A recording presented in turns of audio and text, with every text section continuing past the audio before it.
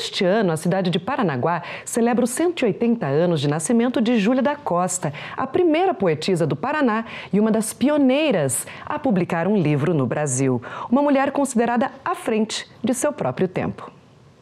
Poetisa, musicista, uma mulher da sociedade. Você sabe quem foi Júlia da Costa? Com certeza já deve ter visto algum lugar, como por exemplo uma rua com este nome. Deixa eu te adiantar. Ela foi uma parnanguara daquelas apaixonadas pela sua terra. E é isso que a gente vai descobrir a partir de agora. Música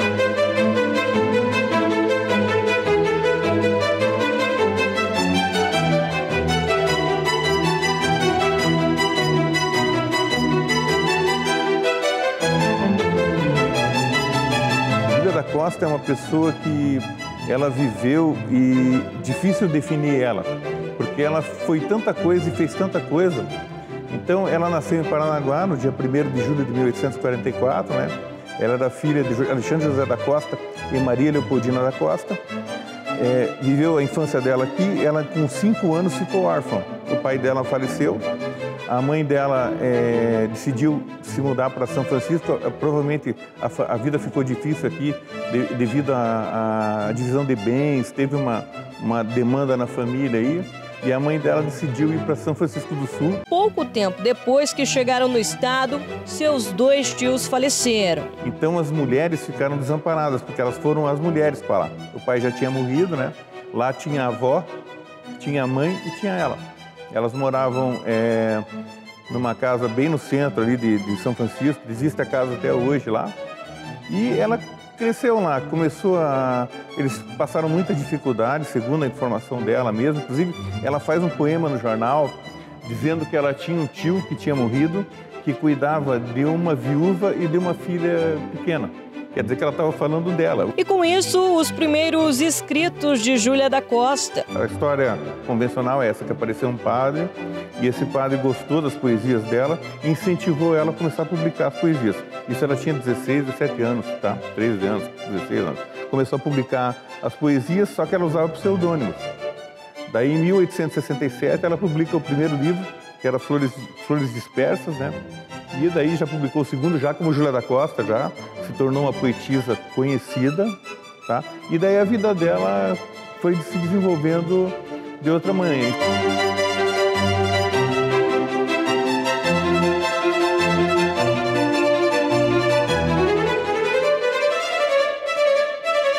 Uma das peculiaridades era que Júlia da Costa sempre escrevia sobre sua terra natal.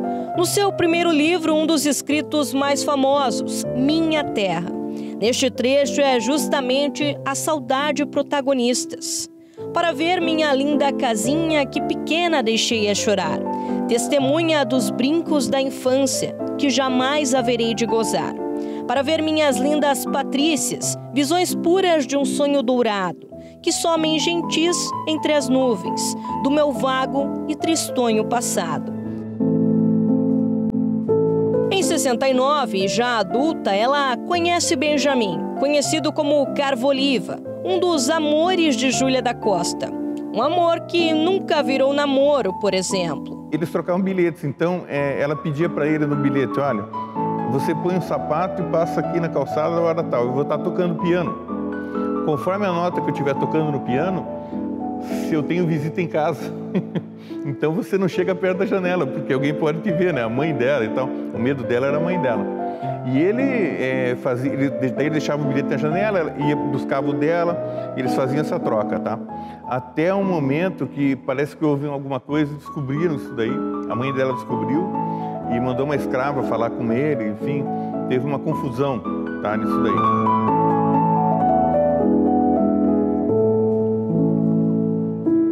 Apesar deste amor platônico, em 1871, Júlia da Costa se casou com o comendador Francisco Costa Pereira.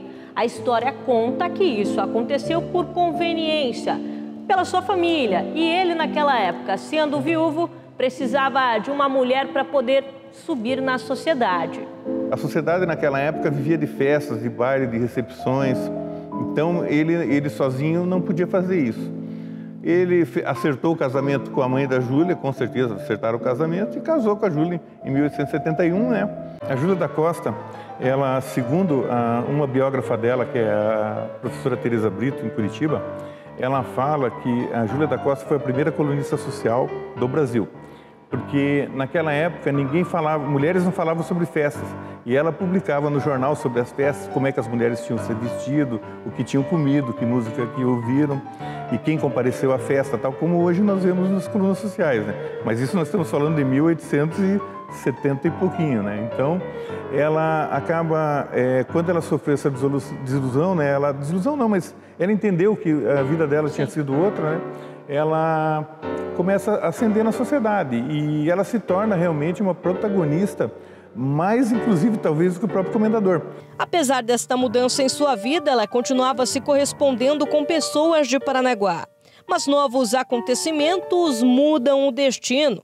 A morte do comendador e de sua mãe. Júlia pararia de escrever e fecharia seu piano. Desde pequena, ela, ela é relatada como uma êxima pianista. Isso desde pequeno falam dela isso daí.